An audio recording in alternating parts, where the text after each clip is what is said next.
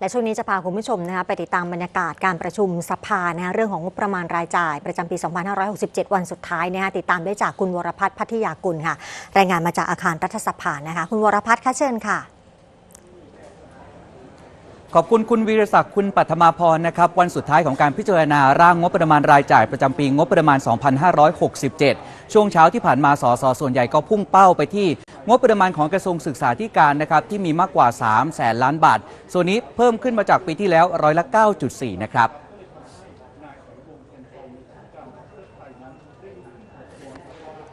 นายโสพลสารามสสพักภูมิใจไทยก็มีการอภิปรายฝากไปยังกรรมธิการพิจารณางบประมาณที่จะตั้งขึ้น ว่าขอให้เร่งพิจารณางบด้วยความรวดเร็ว เพราะมีเวลาใช้งบ 5 เดือน และต้องกล้าปรับลดงบประมาณโครงการที่ไม่เร่งรีบ เพื่อนำไปแก้ไขวิกฤตด้านการศึกษา และคุณภาพชีวิตที่อ่อนแอจากยาเสพติด แม้จะได้รับงบเพิ่มร้อยละ9จากปีที่ผ่านมา แต่ยังแก้ไขประสิทธิภาพประสิทธิผลของการศึกษาไม่ได้ดีเท่าที่ควรครับ ข้อเสนอเร่งด่วนที่คณะกรรมาการที่จะต้องไปปรับโครงการที่รอได้ มาในเรื่องการศึกษาก็คือหนึ่งกำหนดหนึ่งก็คือขอเถอะครับคุณครูเขายินดีสอนสองชั้น แต่เขาขอให้ทุกโรงเรียนต้องมีผู้บริหาร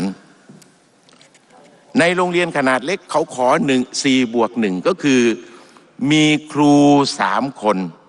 มีผู้บริหารหนึ่งคนมีนักการหนึ่งคน เขายอมสอนสองชั้น จัดให้เขาไปเถอะครับ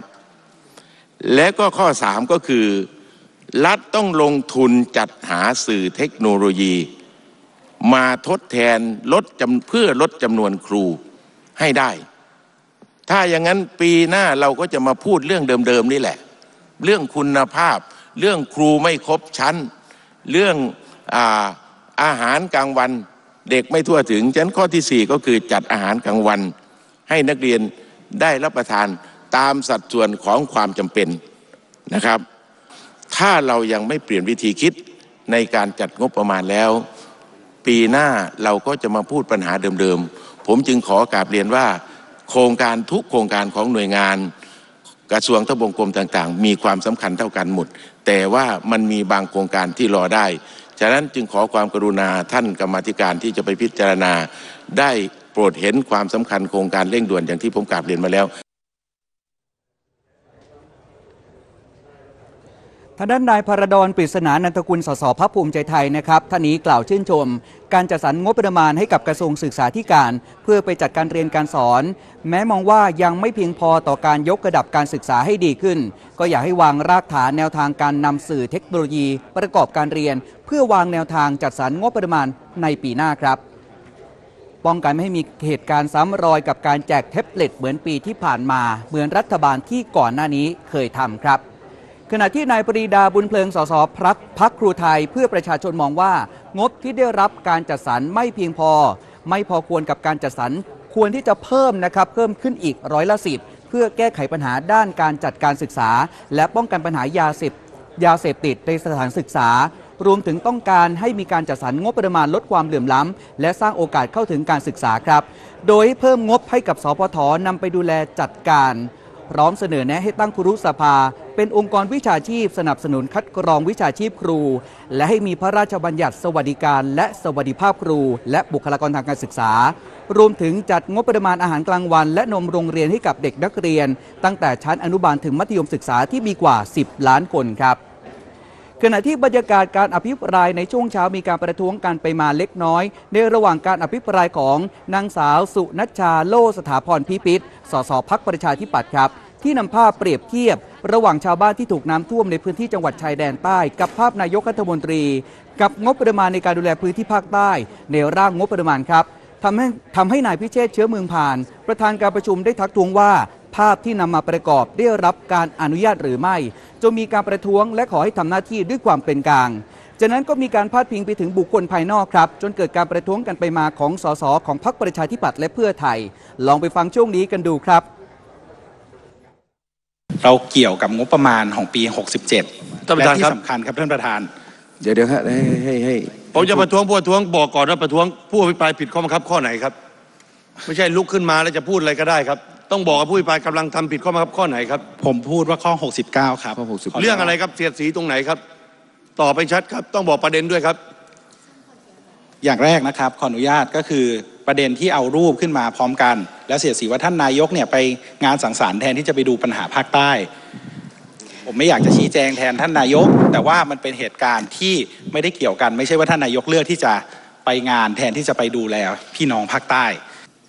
และที่ท่านบอกว่าท่านนายมตรีลงพื้นที่เนี่ยท่านไปดูภาพไหมครับ ไปที่น้ำลึกสิครับ อย่าไปที่น้ำตื้น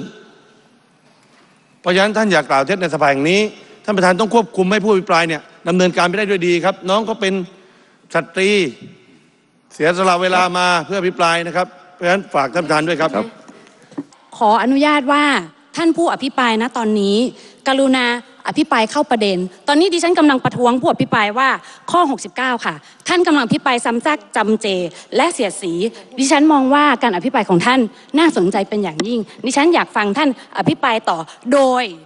ไม่ก้าวล่วงในข้อบังคับที่ 69 ค่ะท่านประธาน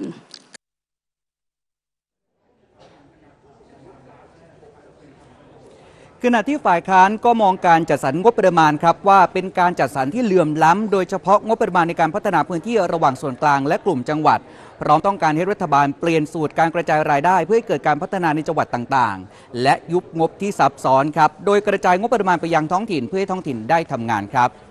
มาดูว่าหลังจากที่ร่างงบประมาณ 2567 ผ่านสภาวาระแรกก็จะมีการตั้งคณะกรรมาการวิสามัญพิจารณาร่างพระราชบัญญัติงบประมาณจำนวนทั้งหมด 72 คนนะครับ ก็ประกอบไปด้วยตัวแทนจากคณะรัฐมนตรี 18 คน สส 54 คน มาจากฝ่ายสสฝั่งรัฐบาล 6 พัก ตามสัดส่วนแล้วครับ และสสฝ่ายค้านอีก 20 คน ซึ่งจะใช้เวลาในการประรยติ 30 วันก่อนจะนำเสนอเข้าสู่สภาพิจารณาในวาระที่ 2 และวาระที่ 3 อย่างไรก็ตามยังคงต้องจับตามองนะครับ ว่าการอภิปรายในวันนี้จะเป็นไปในทิศทางไหน และมติจะออกมาเป็นอย่างไร ก็คาดว่าการประชุมนั้นจะแล้วเสร็จประมาณ4ทุ่มนะครับก็ต้องติดตาม ซึ่งเมื่อสักครู่นี้นายกรัฐมนตรีเดินทางมาถึงสภาผู้แทนราษฎรเรียบร้อยแล้วนะครับมีการให้สัมภาษณ์ภาพรวมการอภิปรายและการเสนอแนะนายกบอกว่าสิ่งที่ฝ่ายค้านพูดก็เป็นการติเพื่อก่อ เมื่อสักครู่นี้เราพูดถึงงบประมาณของนายกรัฐมนตรีในการลงไปแต่ละพื้นที่ และพูดถึงเรื่องของการให้ความใส่ใจนะครับคุณผู้ชมครับก็คือซอสในช่วงที่มีการปีใหม่ ขณะที่นายกรัฐมนตรีอยู่ที่ทำเนียบรัฐบาลภาคใต้นั้น เกิดเหตุการณ์น้ำท่วมก็มีการเอาภาพมาเปรียบเทียบกัน นายกรัฐมนตรีบอกว่า ห่วงใยในพื้นที่ภาคใต้ และเห็นความใส่ใจที่นายกรัฐมนตรี ลงไปพื้นที่ภาคใต้หลายครั้ง ส่วนงบประมาณที่เอาลงไปก็เพื่อที่จะยกระดับคุณภาพชีวิตของคนในพื้นที่ภาคใต้ ให้มีความมั่นคงครับ ทั้งหมดคือบรรยากาศที่เกิดขึ้นในสภาผู้แทนราษฎรช่วงนี้กลับไปที่ คุณวีรศักดิ์คุณปัทมพรครับ ขอบคุณค่ะ คุณวรพัฒน์พัทยากุล รายงานสดมาจากอาคารรัฐสภานะคะ ซึ่งบ้านเราตอนนี้ไม่ใช่มีเฉพาะแค่ในสภาที่ค่ะผู้ใหญ่กันถกเถียงเรื่องเงินเงินทองทองงบประมาณรายจ่าย 67 เนี่ยนะครับ